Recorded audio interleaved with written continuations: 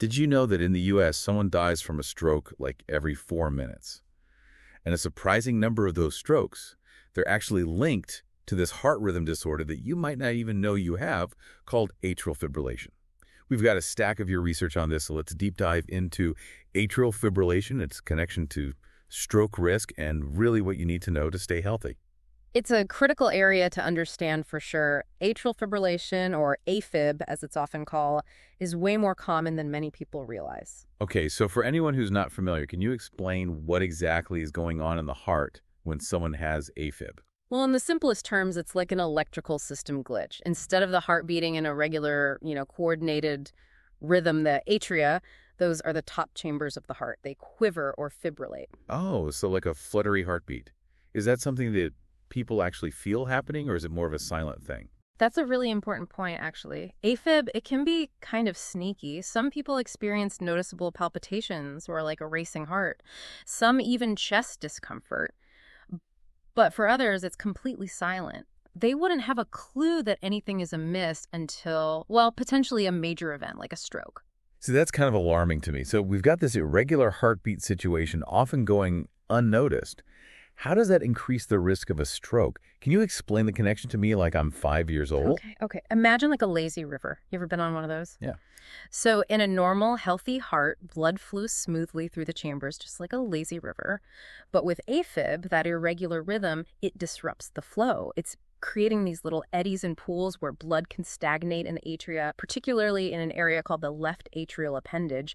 And when blood sits still for too long, it clots. I'm getting a visual of that thickening, almost jelly-like consistency forming. Exactly. And if one of those clots breaks loose, it can travel to the brain, blocking a blood vessel, and, yeah. well, that's when a stroke occurs. Okay, so we've established that AFib can be this, like, silent risk factor for yeah. stroke. Right? Yeah. So that kind of begs the question, what can you actually do about it? Yeah.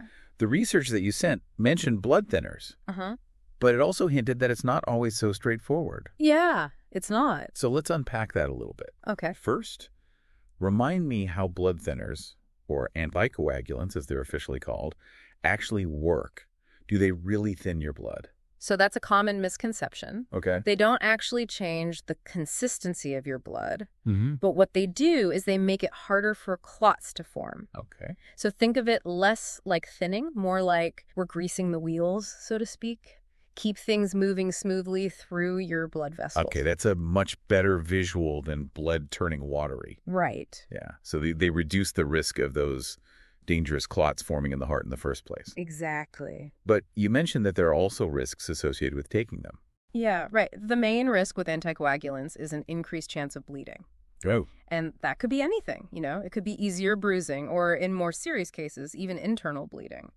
And is the risk like the same for everyone, or are there certain factors that make some people more susceptible to bleeding than others? That's that's where it gets really, you know, interesting and individualized. Okay. Um, your age, other health conditions, even your lifestyle can all play a role in determining your risk level. Wow. And then to add another layer of complexity, the type of anticoagulant matters too. Oh, okay. Your research mentioned DOACs and warfarin. Yeah, I remember seeing those terms. What's the difference? So warfarin has been like the go-to anticoagulant for decades, Hmm.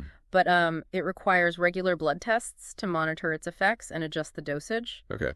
DOACs are newer. They don't require that constant monitoring. Hmm. And they generally have a lower risk of major bleeding events, but they may not be suitable for everyone, particularly those with certain, you know, pre-existing medical conditions. It sounds like there are a lot of moving pieces here.